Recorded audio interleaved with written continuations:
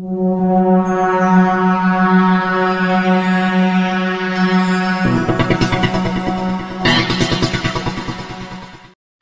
to the Nicolas 11x12 technology. It's time for an AMD versus Nvidia graphics card battle.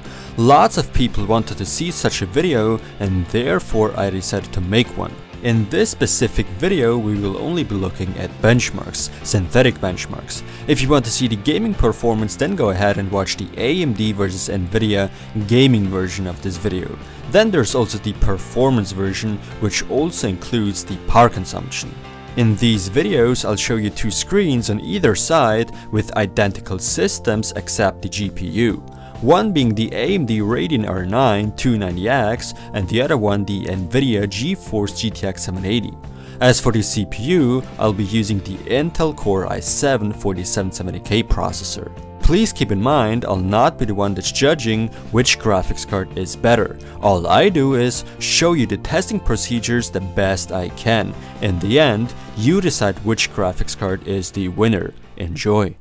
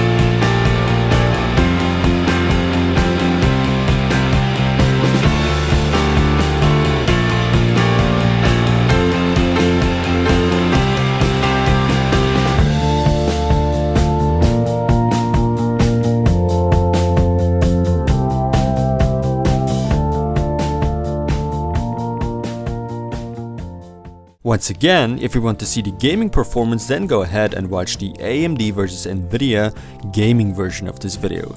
Then there's also the performance version which also includes the power consumption.